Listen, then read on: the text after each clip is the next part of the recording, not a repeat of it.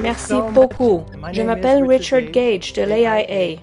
Je suis architecte depuis 20 ans et je suis membre de l'Institut américain des architectes. Je me suis intéressé à l'effondrement des tours du World Trade Center du 11 septembre après avoir entendu les conclusions saisissantes d'un chercheur malgré lui, David Ray Griffin, sur la radio KPFA à San Francisco, une émission Guns and Butter avec Bonnie Faulkner en mars 2006.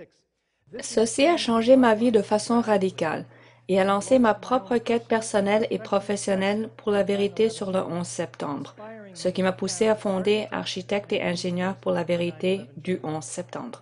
Nous sommes fiers de faire partie du mouvement international pour la vérité sur le 11 septembre qui s'élargit par des millions chaque année.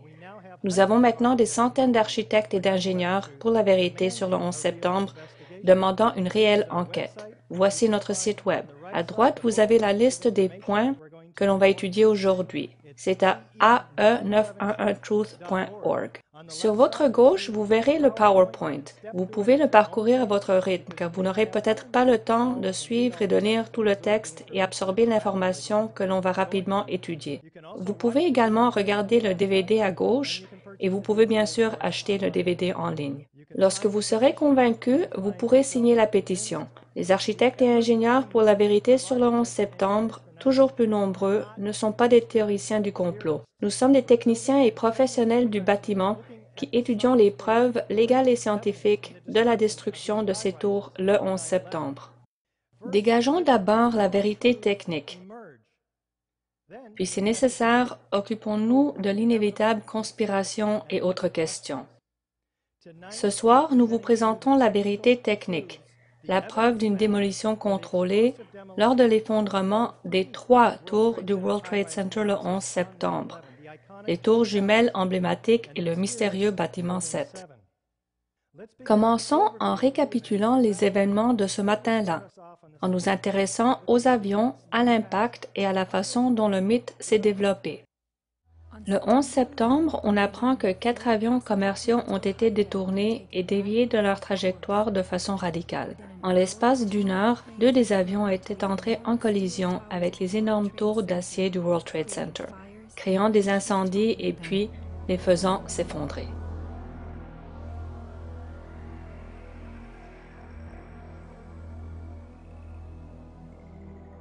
Abruti par les informations, le public américain a rapidement cru que les incendies dans les tours avaient été si chauds qu'ils avaient fait céder les charpentes d'acier.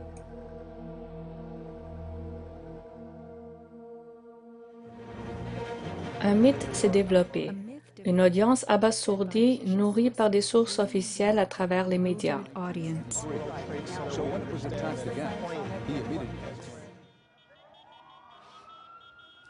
Les éléments du mythe. Les impacts des avions, les litres de kérosène en feu, l'acier qui fond, les bâtiments qui cèdent et s'implosent brusquement. En seulement 10 secondes, 110 étages ont dégringolé jusqu'au sol, pulvérisés en poussière. Dès le début, dans la rue même, l'histoire officielle est née. Sorti de nulle part et vlan, droit dans la façade des tours jumelles, explosant de l'autre côté. Puis j'ai assisté aux chutes des deux tours, d'abord la première, puis la deuxième, principalement due à une défaillance structurelle car l'incendie était trop intense. Le mythe s'est faufilé dans le rapport de la FEMA et a été repris par les experts.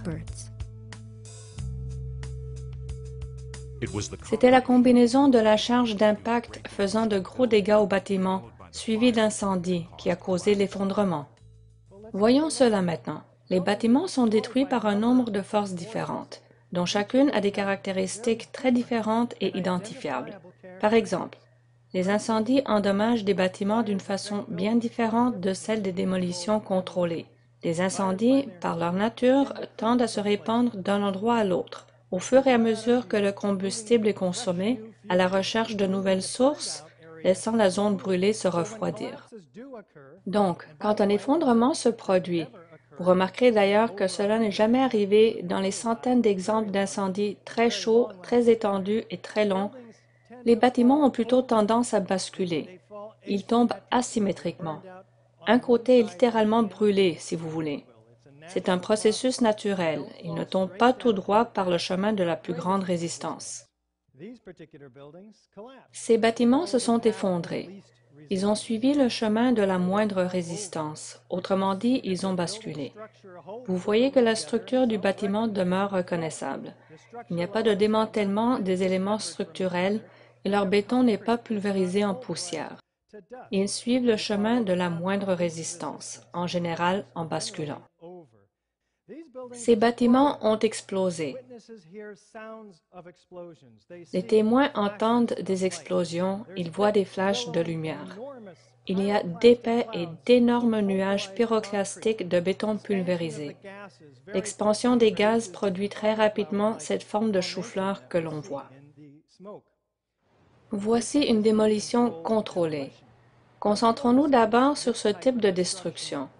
Nous avons des centaines d'exemples à travers le pays à mettre en comparaison, car c'est la méthode la plus employée pour démolir des tours. Voilà à quoi ressemble une tour lorsqu'elle est démolie par des explosifs. Voyons les particularités d'une démolition contrôlée. D'abord, nous avons un déclenchement soudain à la base de la structure. Nous avons un effondrement symétrique dans ses propres fondations car les vagues de démolition suppriment les colonnes de soutien, créant une accélération en quasi-chute libre par le chemin jusqu'alors de la plus grande résistance. Des milliers de tonnes d'acier structurel. On obtient un démembrement total de la structure d'acier qui est donc prête pour le transport. Les structures adjacentes sont peu endommagées. Les bruits et les flashs des explosions entendus et vus par les témoins les énormes nuages de béton pulvérisé. Ce qui semble être des squibs, des éjections rapides et isolées de poussière et des preuves chimiques de charges coupantes. Tout cela est typique et représente des preuves directes et indirectes d'une destruction par explosif. La chose intéressante est qu'aucune de ces particularités d'une démolition contrôlée ne peut être expliquée par des incendies et encore moins toutes les dix. Nous verrons la documentation gouvernementale, la confirmation des experts, des preuves de préconnaissance et des documents vidéo. Tout cela soutient l'hypothèse d'une démolition contrôlée, fournissant des preuves au-delà de tout doute raisonnable. Voyons maintenant le bâtiment 7 du World Trade Center. À 47 étages, il aurait été le plus haut bâtiment dans 33 de nos États.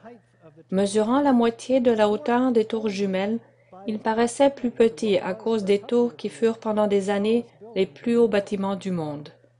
Il n'a pas été frappé par un avion. C'était la troisième tour du World Trade Center à s'effondrer le 11 septembre, vers 17h20. Le World Trade Center 7 a été touché par des débris de la tour nord. Vous pouvez le voir ici. Il y avait huit incendies sur divers étages, selon le NIST. Voilà le World Trade Center 7, haut de 47 étages. Ne vous laissez pas tromper par l'ombre de ce bâtiment. Nous avons ici les incendies du 12e et 13e étage et un feu au 7e sur le côté nord du bâtiment le côté qui n'a pas été touché par la tour nord. Maintenant, voyons les preuves concernant le World Trade Center 7 et allons voir s'il ressemble à une démolition contrôlée typique. En commençant par, y a-t-il un déclenchement soudain de destruction? Écoutons ce secouriste. On regardait le bâtiment car il était en feu. Les étages du bas brûlaient et, euh, vous savez, on a entendu ce bruit qui ressemblait à un coup de tonnerre. On s'est retourné et on a été choqué de voir que le bâtiment était... En fait, ça ressemblait à une onde de choc qui parcourait le bâtiment et toutes les fenêtres ont explosé. C'était effroyable. Puis vous savez, une seconde après, le rez-de-chaussée a cédé, entraînant tout le bâtiment. On a vu le bâtiment s'écrouler jusqu'au sol. Le bruit d'un coup de tonnerre, une onde de choc parcourant le bâtiment, des fenêtres qui explosent puis le bâtiment qui s'effondre. Avons-nous un effondrement symétrique tout droit dans les fondations du bâtiment? Écoutons Dan Rather nous raconter cet effondrement, alors qu'on voit pour la première fois l'effondrement du bâtiment 7. Et ce que vous voyez, c'est vu d'en haut? Nous allons vous montrer une vidéo de l'effondrement même. Maintenant, nous allons voir l'effondrement de ce bâtiment. C'est surprenant. Surprenant, incroyable, choisissez. Pour la troisième fois aujourd'hui. Ça évoque ces images qu'on a tous trop vues à la télé, quand un bâtiment a été délibérément détruit par de la dynamite bien placée pour le faire descendre. Comment, Dan? Délibérément détruit par de la dynamite bien placée pour le faire descendre. Après ce jour, Dan n'a jamais répété ces mots. En fait, on n'a plus revu ce bâtiment tomber après le 11 septembre. Comparons-le côte à côte avec une démolition contrôlée connue, ici à droite.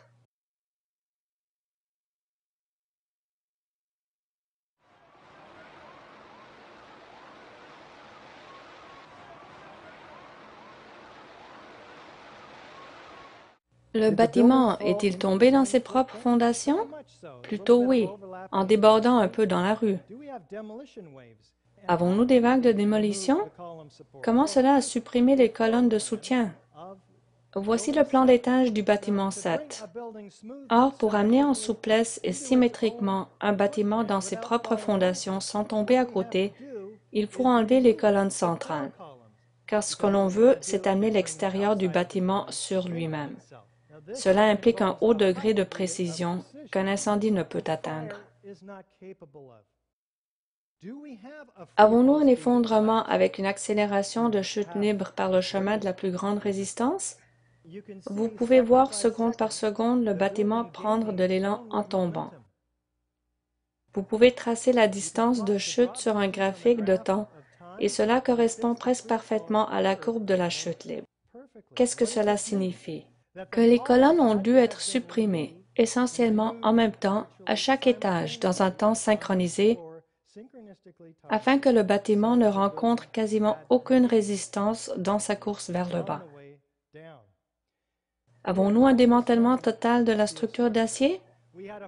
On avait un gratte-ciel de 47 étages, compressé à quatre étages. Comment cela s'est-il produit? Avons-nous des bruits d'explosion? Écoutons Kevin McPadden. Il est revenu, sa main couvrant la radio. Ça ressemblait à un compte à rebours. Et les dernières secondes, il a ôté sa main et on pouvait entendre trois, deux, un. Il n'arrêtait pas de dire Sauvez-vous, sauvez-vous. Ensuite, un autre deux, trois secondes, on a entendu des explosions. Bah, boum! C'était un son bien distinct. Ce n'est pas comme quand il y a une compression, comme boum, boum, boum, boum, boum, comme des étages qui tombaient et s'effondraient. C'était pas boum, et vous sentiez un grondement dans le sol, à tel point que vous vouliez vous agripper à quelque chose. Ça, je savais que c'était une explosion. Je n'ai eu aucun doute. Avons-nous d'énormes nuages de fumée pyroclastique provenant du béton pulvérisé? Regardez le béton projeté en l'air et retombant dans toutes les rues, dans toutes les directions, à 56 km à l'heure. C'était un nuage pyroclastique d'un volume incroyable qui s'enveloppait sur lui-même. Il faut d'incroyables quantités de chaleur pour créer ce genre de phénomène, bien plus de chaleur que les huit différents incendies qu'il y avait à ces étages. Y a-t-il des flaques de fer fondu Regardons par la tour sud maintenant. Cette section s'applique aux tours jumelles du World Trade Center et au bâtiment 7. Le NIST nous dit que cette substance doit être de l'aluminium fondu provenant de l'avion. Mais de l'aluminium fondu ressemble à de l'aluminium fondu. C'est argenté. Ça ne luit pas la lumière du jour. 21 jours après les attaques, les incendies brûlaient toujours et l'acier fondu coulait encore, dit Leslie Robertson, ingénieur des ponts et chaussées, lors d'une conférence réunissant les ingénieurs des ponts et chaussées le 5 octobre 2001, un mois après le 11 septembre. Les incendies brûlaient et le métal en fusion coulait encore dans les ruines sous mes pieds. Qu'en disent les secouristes et les entrepreneurs de démolition? On a vu des flaques d'acier littéralement fondues, du métal en fusion, des poutrelles qui avaient totalement fondu. Ça ruisselait du métal en fusion. L'acier coulait par flot. Ils ont trouvé de l'acier fondu. et cet ingénieur des ponts et chaussées, Abolhassan Astaneazi de Berkeley, observe et rapporte J'ai vu des poutres fondues dans le World Trade Center. L'un des objets les plus inhabituels à sortir des décombres est cette chose ressemblant à un rocher qu'on a surnommé la météorite. C'est un morceau de métal fusionné, du métal fondu et du béton et tout le reste. Tout a fusionné sous la chaleur. Les architectes, ingénieurs, les gens qui travaillent l'acier, les soudeurs n'ont jamais vu un tel niveau de destruction et de déformation de leur vie. Le bâtiment 7 est indiqué ici au point A et B, et voici la tour nord et la tour sud. Ces points chauds atteignent les 725 à 743 degrés Celsius. Ce sont les températures les plus chaudes des incendies dans les bureaux. Il n'y avait pas d'incendie à la surface de Ground Zero après les effondrements. Que mesure-t-on ici? On mesure le métal fondu que ces premiers secouristes ont vu quatre, cinq, six étages plus bas dans le sous-sol et qui atteignait certainement des températures deux à trois fois plus chaudes. Quel est le problème au juste? Eager dit que les incendies de bureaux atteignent les 649 degrés Celsius. Le NIST parle de 982 degrés, sans pour autant fournir la moindre preuve que les incendies dans les bureaux des tours aient atteint une telle température. L'acier structurel ne commence même pas à fondre avant 1482 degrés ou presque. Il manque entre 540 et plus de 1000 degrés Celsius. L'énergie de la chaleur nécessaire pour produire ce résultat. D'où vient-elle? Nous allons étudier un suspect, la termite, qui atteint une température de 2480 degrés Celsius. Écoutons John Gross, l'ingénieur en chef du NIST, qui nous donne son point de vue sur le métal fondu. Revenons d'abord sur votre proposition disant qu'il y avait une flaque d'acier en fusion. Je ne connais absolument personne, aucun témoin qui en ait parlé, personne qui n'ait produit cela. Vous étiez en dessous et vous voyez de l'acier fondu, de l'acier fondu s'écoulant des rainures, comme si vous étiez dans une fonderie, comme la lave d'un volcan. Aucun témoin qui en ait parlé, les poutrelles avaient vraiment fondu là où était l'acier en fusion.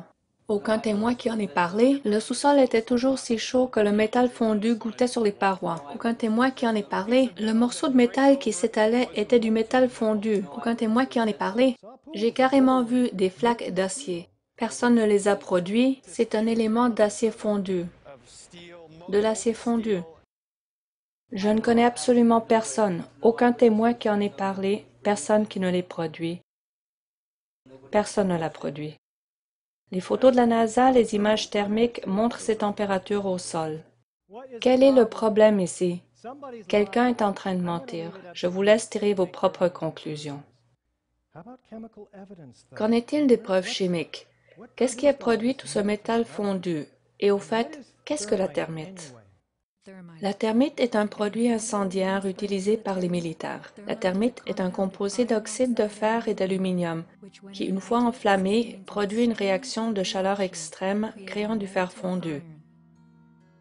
En seulement deux secondes, la termite peut atteindre plus de 2480 degrés Celsius, suffisant pour liquéfier l'acier. Nous savons que les incendies à l'air libre ne peuvent atteindre des températures nécessaires pour faire fondre l'acier, mais du métal avait fondu à la base des tours. L'annexe C du rapport de la FEMA décrit des résidus de soufre dans l'acier du World Trade Center. Le New York Times a appelé ceci le plus grand des mystères. Le soufre abaisse légèrement le point de fonte du fer et à la surface de la structure d'acier, de l'oxyde de fer et des sulfates de fer s'étaient formés. Le soufre employé avec la thermite est appelé thermate, produisant des effets encore plus rapides. Le docteur Stephen Jones a fait des analyses chimiques sur le métal qui avait fondu. On lui a un échantillon de ce morceau de 23 kg de métal fondu provenant de l'une de ces météorites. Il y trouve principalement du fer et peut donc exclure l'aluminium provenant des avions. Il contient des petites quantités d'aluminium, de soufre et de potassium, et du manganèse et de la fluorine en abondance. Le manganèse provient du potassium permanganate, habituellement utilisé comme oxydant dans la thermite. La fluorine est aussi utilisée dans la termite de type sol-gel. Le tout semble constituer la marque de la termite. Les explosifs gel sont de la superthermite, de toutes petites particules d'aluminium dans de l'oxyde de fer dans un sol gel. Ils peuvent être moulés comme de l'argile. Les laboratoires Lawrence Livermore ont fait des recherches sur cela. Cette invention offre un instrument à base de thermite pour couper des matériaux ciblés. Vous y enfouissez la thermite et vous l'enflammez. Elle explose en force, fondant cet élément d'acier structurel en une fraction de seconde, presque aussi efficacement que des explosifs à haute énergie comme le RDX et le C4, qui sont plus communément employés dans les démolitions contrôlées classiques.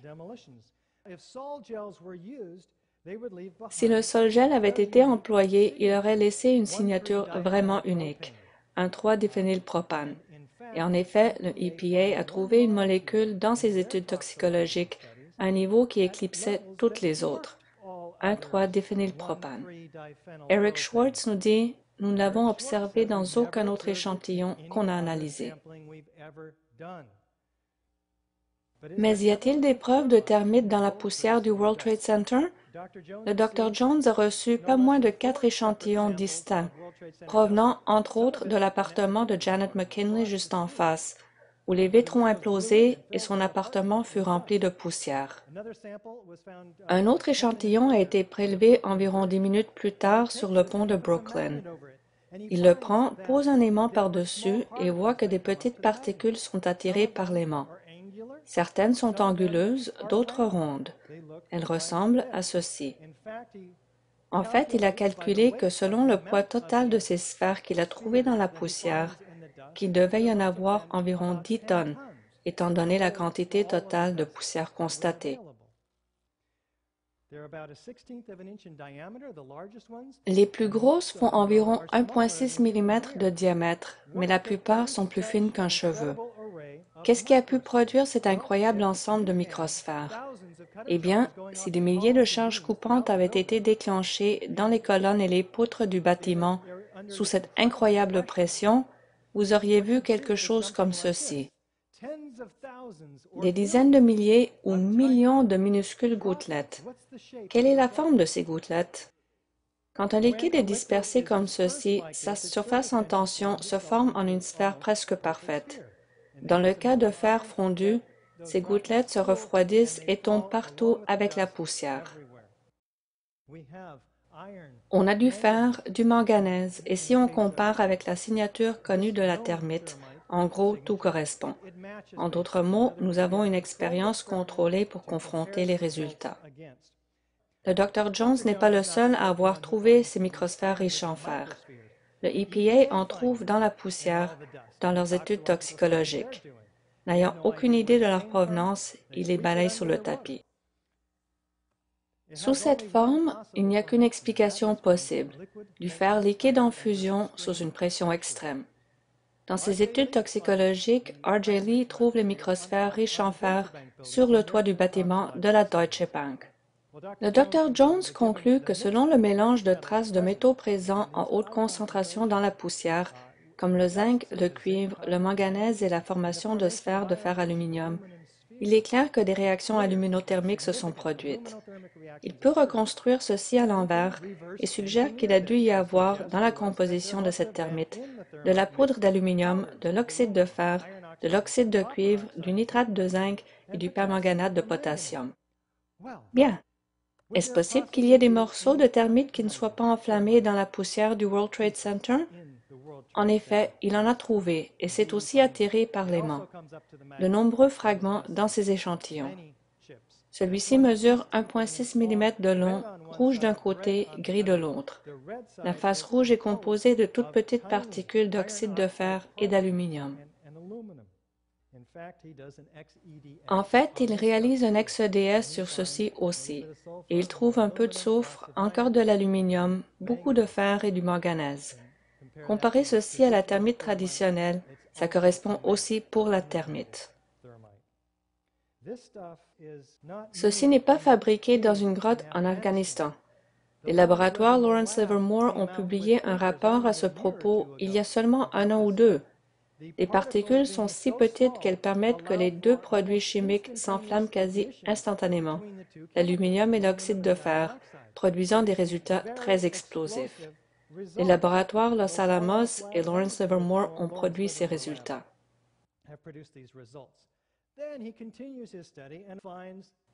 Il continue son étude et trouve d'autres fragments, partiellement enflammés, dans lesquels sont incrustées des sphères, indiquant que la source de ces sphères est clairement identifiée.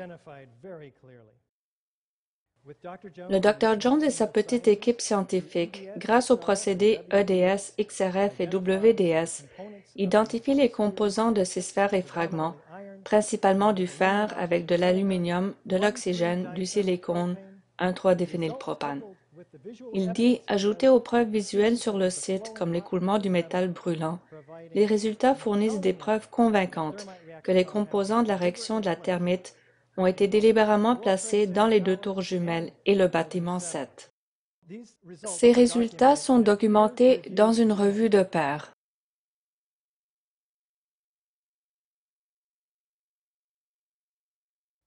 Maintenant, tout ceci est la preuve directe d'une destruction par explosif du bâtiment 7. Revenons donc au bâtiment 7. Aucune de ces caractéristiques ne peut être expliquée par l'incendie, et encore moins toutes les caractéristiques. Écoutons les conclusions de la FEMA, car c'est intéressant. La preuve d'une attaque de corrosion à haute température sur l'acier, comprenant une oxydation rapide, une sulfidation et finalement une fonte intergranulaire. Très intéressant. Souvenez-vous, les incendies de bureau ne font pas fondre l'acier. Qu'est-ce qui a fait fondre l'acier? Du soufre a été produit lors de cette attaque de corrosion brûlante sur l'acier. Voici la fonte intergranulaire certifiée pour nous tous. Merci. Capable de transformer une poutre d'acier solide en gruyère, comme ce qui était ici une poutre à large aile du bâtiment 7. Ils documentent ceci très prudemment dans leur annexe C. Les particularités des incendies dans le World Trade Center 7 et comment ils ont provoqué l'effondrement du bâtiment restent inconnus à ce jour. Comment? Inconnus Les meilleures hypothèses, incendie plus dégâts aléatoires puis effondrement complet, ont une faible probabilité de s'être produites. Des recherches, une enquête et des analyses supplémentaires sont nécessaires pour résoudre l'énigme. Mais malheureusement pour ceux qui espèrent résoudre l'énigme, la plupart des preuves ont déjà été détruites à 99% par la FEMA, en fait à raison de 800 chargements par jour. Les trois pires défaillances structurelles de l'histoire moderne et 250 morceaux ont été conservés seulement. Les preuves cruciales qui pourraient répondre aux questions prennent le bateau pour la Chine, s'exclame Bill Manning, rédacteur en chef du magazine Fire Engineering, qui permet aux techniciens des incendies de communiquer entre eux depuis 125 ans. Indiquant la stupéfiante ignorance des officiels du gouvernement de la valeur d'une enquête minutieuse et scientifique. Il faut arrêter la destruction et l'enlèvement des preuves immédiatement. On devrait mettre en place un comité des meilleurs experts et leur donner les ressources requises pour mener une enquête légitime et minutieuse. Et qu'en disent les experts? Danny Jovenko, par exemple, expert en démolition contrôlée depuis 27 ans. Ça commence en bas. Ils ont simplement fait exploser les colonnes. C'est une démolition contrôlée, réalisée par une équipe d'experts. C'est un travail de professionnels sans aucun doute. Le bâtiment 7, avons-nous des avertissements sur sa destruction? Écoutez ces ouvriers s'éloignant du bâtiment 7 et cet officier de police filmé par CNN.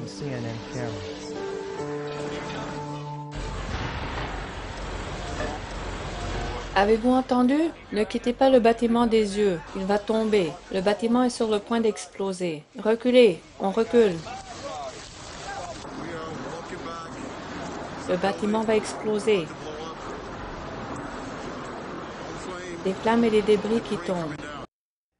Et Kevin McPadden, qu'a-t-il dit? Les dernières secondes, il a enlevé ses mains et on a entendu trois, deux, un. Un compte à rebours? Cela implique un avertissement? Est-ce que les incendies font tomber un bâtiment suite à un compte à rebours? C'est peu probable. En fait, la BBC annonce l'effondrement 20 minutes avant qu'il ne se produise. C'est vrai. Voici Jane Stanley en train de l'annoncer. Elle dit Le bâtiment de 40 étages des frères Salomon, près du World Trade Center, s'est également effondré, alors qu'il est encore debout derrière elle. La BBC s'excuse pour cette grave erreur, invoquant la confusion des événements du jour. Mais est-ce que cela fait d'eux des voyants? C'est peu probable. Y a-t-il une sorte de script qui est distribué, comme le type dans la rue, près des tours jumelles, qui détenait toutes les réponses? Je pense qu'on a démontré que le bâtiment 7 correspond à toutes les caractéristiques d'une démolition contrôlée dans le sens classique du terme. Est-il plausible qu'Al-Qaïda avait pu avoir accès à ce bâtiment? Qui avait été, sans doute, l'un des plus sécurisés hormis le Pentagone? Et si ce n'était pas eux, qui alors? La preuve est même plus évidente dans le cas des tours jumelles. En général, c'est plus difficile pour les gens de comprendre que les tours étaient une démolition contrôlée, car cela s'éloignait trop de notre cadre de référence. On n'a jamais rien vu de tel. Donc ceci combiné au choc nous a empêchés de rester objectifs. Mais si vous deviez planifier un effondrement par incendie dû à des avions, vous feriez partir les explosions au point d'impact de l'avion. Donc dans le World Trade Center 1 et 2, nous avons toutes les caractéristiques principales de démolition contrôlée, mais avec quelques différences importantes. On a le début de détonation au point d'impact de l'avion, pas à la base du bâtiment. De plus, nous n'avons pas une implosion car tout est explosé hors de l'empreinte. On a des squibs ou encore ces explosions mal synchronisées. Et comme on l'a déjà dit, la preuve de thermite dans le métal fondu et dans la poussière. Les microsphères riches en fer. Voyons d'abord le déclenchement soudain. Quelle est la preuve et comment ça s'est passé? Produit par ces bruits et ces flashs d'explosion. 118 pompiers ont témoigné des bruits et des flashs des explosions. On a senti la terre trembler. On a vu les tours vaciller, puis elles sont tombées. Tout à coup, le sol s'est mis à trembler. Ça m'a secoué les os.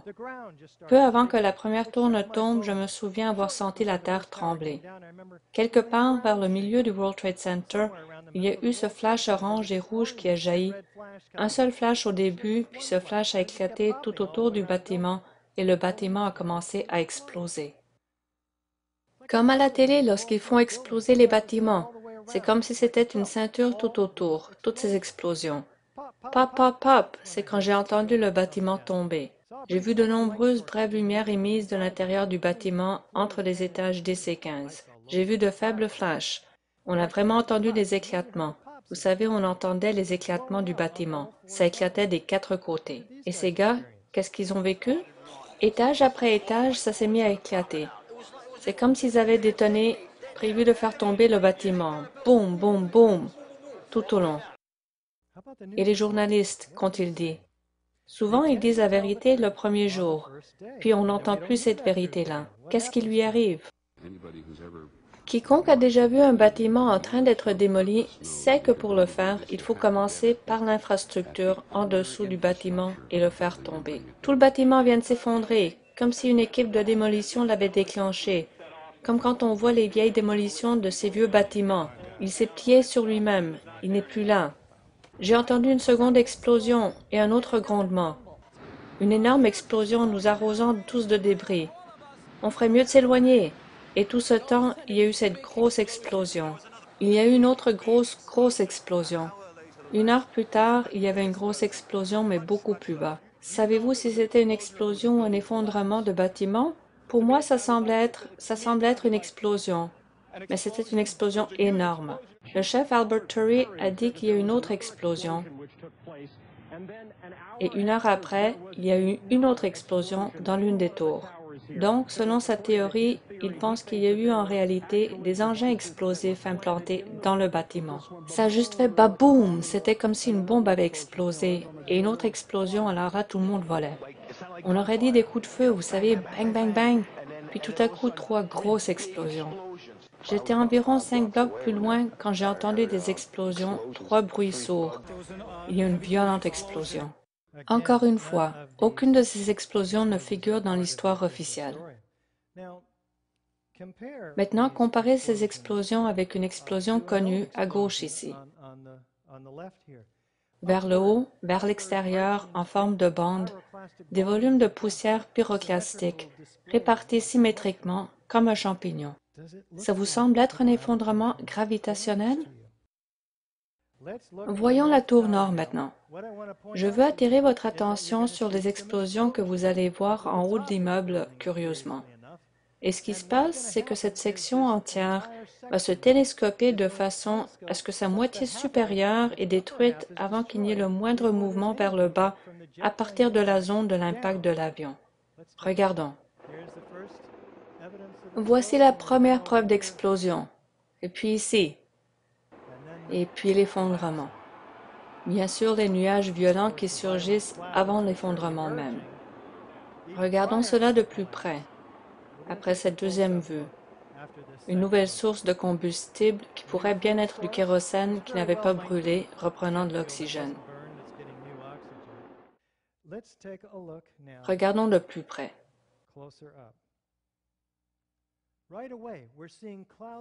On voit tout de suite des nuages se former ici.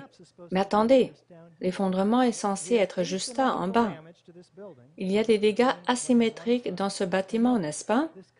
L'avion est entré d'un côté, pourtant c'est un effondrement symétrique. On emploie des guillemets désormais. Continuons. Et encore une fois. Des ceintures, exactement comme les pompiers l'avaient décrit, tout autour du bâtiment. L'antenne tombe la première, avant toute autre chose, indiquant en premier lieu des dégâts sur la colonne centrale. Maintenant, regardons la même tour à partir du bas. Notez la violence sous le champignon de nuages. L'effondrement est censé se produire en haut ici, mais en dessous, comme vous le voyez, pendant le deuxième passage, des quantités incroyables de squibs, des explosions en cours.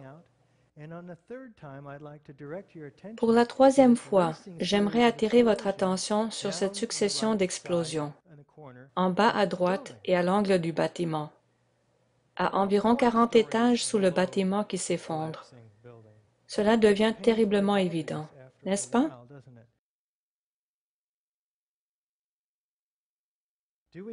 Avons-nous une progression verticale symétrique de l'effondrement hors de ces fondations?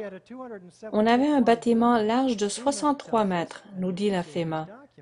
Dans ce document, on voit que les débris couvrent une surface de 356 mètres répartis à distance égale autour de chaque tour, des dégâts asymétriques et une distribution symétrique sur tout le site et en fait au-delà. Avons-nous des squibs ou ces explosions décalées? Certains diraient plutôt ce sont des explosions programmées ainsi exprès. Peu importe. Dans toutes les vidéos de l'effondrement, on voit les explosions éclater du bâtiment des étages 20 à 30 étages sous la vague de démolition. Ici,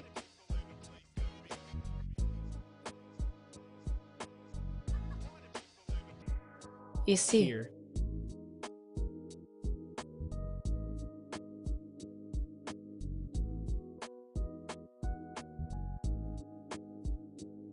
You here. see?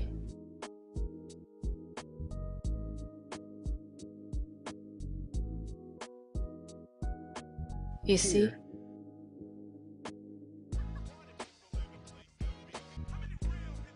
You see?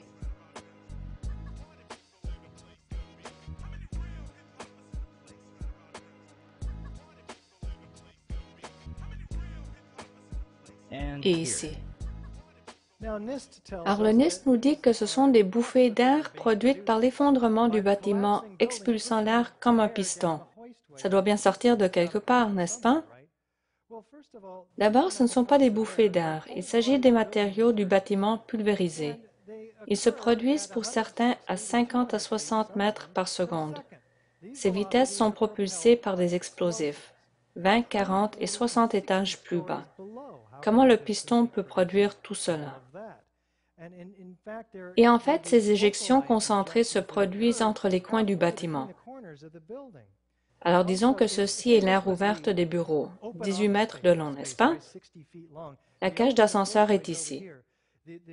Le piston va faire entrer l'air dans cette pièce. L'air sous pression va remplir uniformément la pièce avant de briser la moindre fenêtre, n'est-ce pas? Puis peut-être qu'elle en brisera plusieurs, mais pas ces éjections minutieusement placées, géométriquement précises et violentes. Avons-nous une accélération en quasi-chute libre selon l'axe de la plus grande résistance? Voyons cela. La loi de Galilée, dit la chute des corps, calcule le temps nécessaire à un corps pour parcourir une distance donnée en chute libre. La distance d égale 16.08 fois le temps en secondes au carré. La tour faisait 13,62 pieds de haut. 13,62 égale 16.08 fois 84 ou 9.2 secondes.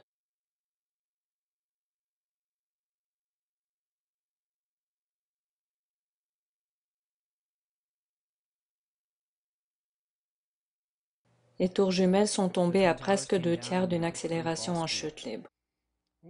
Qu'est-ce que ça veut dire? Essayons de réconcilier ces faits avec l'histoire, pour le moins problématique. On a un bâtiment de 15 étages suspendu par cette grue au-dessus de 95 étages remplis d'air, rien d'autre. Aucune résistance, d'accord, que celle de l'air. À côté, un autre bâtiment de 15 étages, suspendu au-dessus d'un bâtiment de 95 étages avec, disons, 80 000 tonnes d'acier structurel à l'intérieur. Maintenant, on va les lâcher et les laisser tomber en même temps. J'ai amené un bâtiment de 95 étages avec moi aujourd'hui. Alors, on va tester la théorie du NIST. J'ai deux bâtiments de 15 étages. On a 80 000 tonnes d'acier structurel dans celui-ci et on a la résistance de l'air ici. Alors, essayons, OK? On va les mettre ici. On va même lui conférer un peu de charge d'impact, OK? 3, 2, 1. Oh mon Dieu! Celui qui n'a pas de résistance en dessous a touché le sol en premier, avec une accélération quasiment en chute libre. C'est plutôt évident, n'est-ce pas? Que s'est-il passé ici? Le bâtiment au-dessus a rencontré une résistance. Par l'énergie de la déformation, il s'est arrêté. Où est ce bâtiment de 15 étages qui a conduit ce bâtiment à terre avec une accélération en chute libre? En deux secondes, on l'a vu réduit à la moitié de sa masse. Il a explosé vers l'extérieur. Il n'a pas pu servir à influencer la progression du bâtiment vers le bas. Les deux secondes suivantes, d'après quatre secondes au total, il s'est détruit lui-même. Rien n'écrase le bâtiment. Il se détruit avec une accélération de la chute libre. Et la structure d'acier se démantèle. En fait, les rebords de ces nuages en forme de champignons sont remplis par les colonnes périphériques, le bardage en aluminium et autres aciers. Voyons la tour sud en termes de démantèlement. Regardez ce qui se passe ici. La tour sud est à votre gauche. L'avion l'a frappé plus bas. Et comme vous le voyez, cette destruction rapide commence là. Il commence à s'incliner vers la gauche. Puis il disparaît dans ce nuage. Ce bâtiment, qui penche déjà de 22 degrés, et continue son élan hors du centre du bâtiment en dessous. Comment peut-il l'écraser symétriquement avec une accélération de la chute libre quand il est déjà excentré? On ne le retrouve pas non plus fortement endommagé dans un tas tout en bas au sol. Il a été totalement démantelé. Regardons ce qui se passe en dessous. Nous avons des dégâts asymétriques. Et pourtant, une destruction symétrique se passe en dessous du nuage, tout autour du bâtiment comme l'ont vu les pompiers, même si cette masse supérieure est en train de basculer. Une accélération de chute libre. Cela n'a aucun sens pour moi. L'armature d'acier a été totalement démembrée. Il ne reste pas de gros morceaux du bâtiment, seulement ces fragments de l'armature périphérique que l'on a vus. Ça vous semble être un effondrement gravitationnel? Avons-nous une éjection latérale de la structure d'acier? Voyons cela. Regardons la chute des tours jumelles.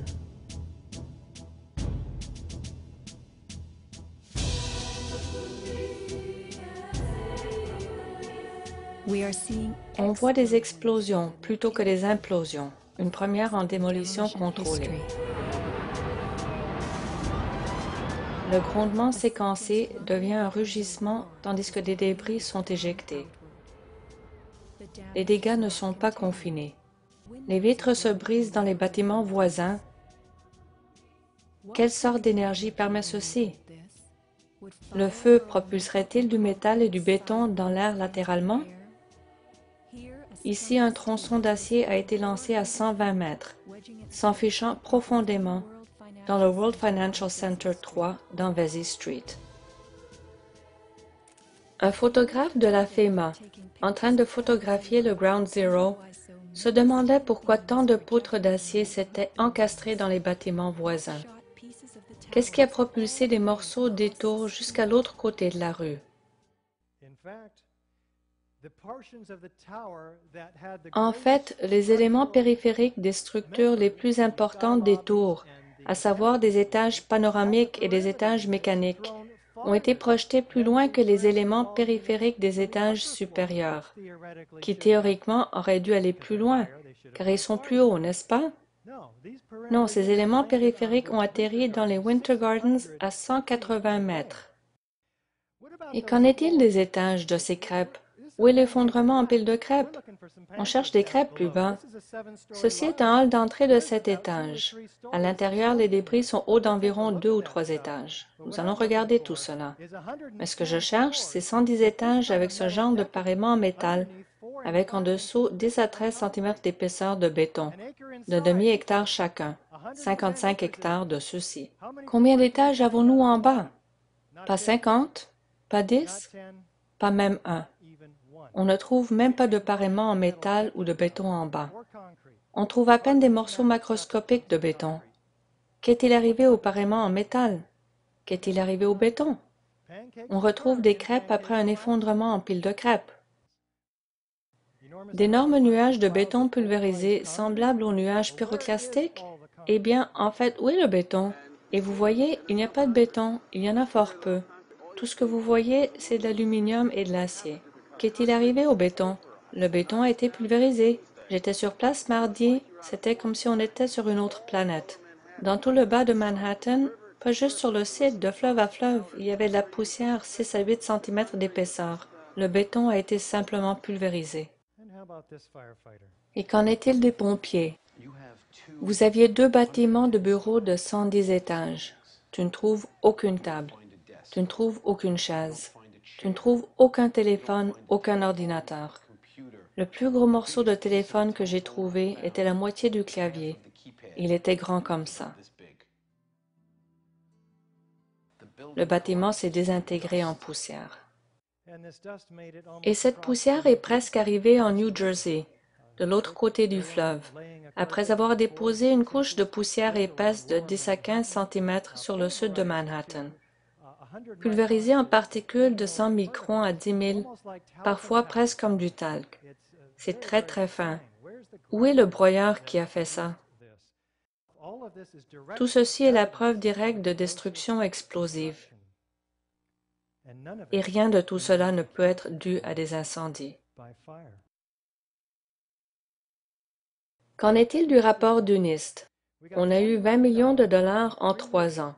Comment a-t-on dépensé nos impôts? Il devait déterminer comment et pourquoi les tours 1 et 2 du World Trade Center se sont effondrés et pourquoi et comment le bâtiment 7 du World Trade Center 7 s'est effondré. Voyons leur objectif. L'enquête s'est intéressée à la séquence des événements à partir de l'impact de l'avion au point de départ de l'effondrement de chaque tour. Par souci de brièveté, dans ce rapport, on appelle cette séquence la séquence d'effondrement probable. Il n'aborde pas à proprement parler le comportement de la structure de la tour une fois que les conditions nécessaires pour déclencher l'effondrement ont été réunies et que l'effondrement est devenu, disent-ils, inévitable. Attendez une minute. Vous voulez mettre trois ans et dépenser 20 millions de dollars et vous allez faire des modèles des turbines des réacteurs d'avion et vous allez arrêter toute l'enquête avant que la chute ne débute vraiment juste au moment où la poutre se gondolait et amenait la première colonne vers l'intérieur?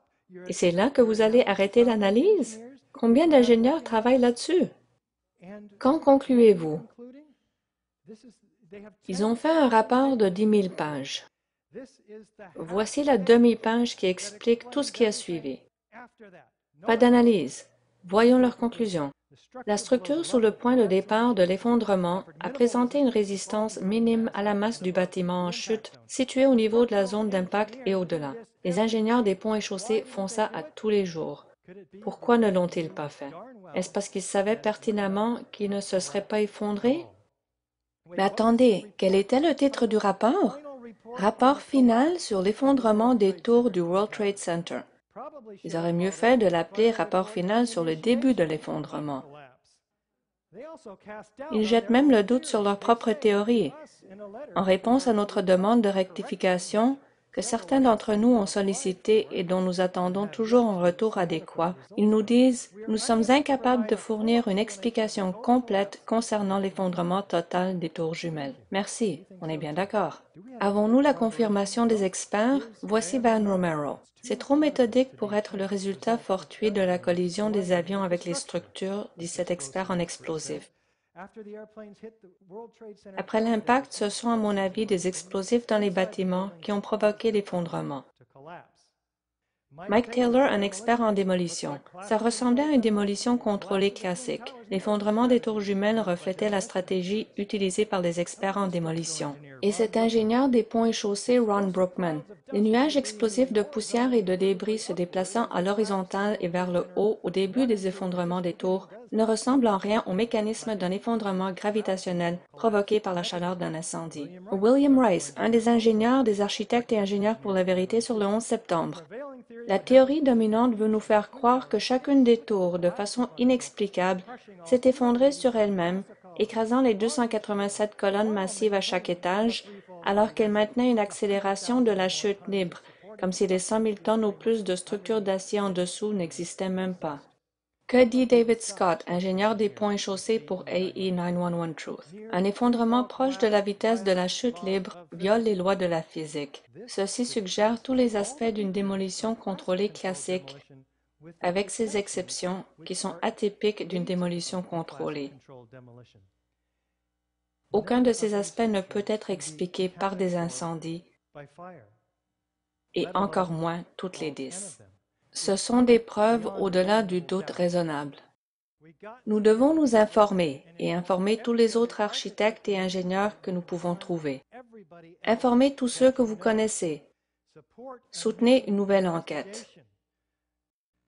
Pourquoi n'avons-nous pas obtenu la vérité sur le 11 septembre? Il semblerait que notre gouvernement nous ait menti au sujet de l'effondrement des tours. Le rapport de la Commission a renforcé ce mensonge. La FEMA et le NIST l'ont justifié et les grands médias l'ont répété et enfoncé. Pour nous, c'était perdu d'avance. Nous avons montré ici aujourd'hui que des explosifs ont été utilisés pour détruire chacune des trois tours du World Trade Center le 11 septembre. Et l'on sait qu'il faut des mois pour planifier, concevoir et placer ces explosifs. Pensons-nous qu'Al-Qaïda a eu accès à ces bâtiments hautement sécurisés? Les preuves présentées ce soir ne sont qu'une fraction de l'information rassemblée par le Mouvement pour la vérité sur le 11 septembre. Les questions soulevées sont nombreuses et inquiétantes. Une nouvelle enquête est nécessaire pour y répondre. Je vous encourage à découvrir les preuves que je n'ai pas eu le temps de vous exposer ce soir. Ça prendra des milliers, peut-être des millions de personnes. Chacun d'entre nous dans le mouvement citoyen détient la responsabilité ultime de prendre l'information que nous fournissons et la répandre. Achetez le DVD. Prêtez-le à tous ceux que vous connaissez. Devenez un porteur de la vérité. Envoyez le lien de AE911truth.org avec un petit mot disant Regardez ce site à tous les ingénieurs et architectes que vous trouvez et à tous ceux que vous connaissez. On se fera remarquer au Palais des Congrès. Signez la pétition de AE911truth.org qui demande une nouvelle enquête. Faites entendre votre voix. Tout le monde peut signer, architectes, ingénieurs et tous les autres. Il y a plusieurs catégories de signataires. Il vous faut une de ces cartes. On les fournit. Nous avons des centaines d'architectes prêts à prendre le risque pour vous, qui nous appellent nous des théoriciens du complot.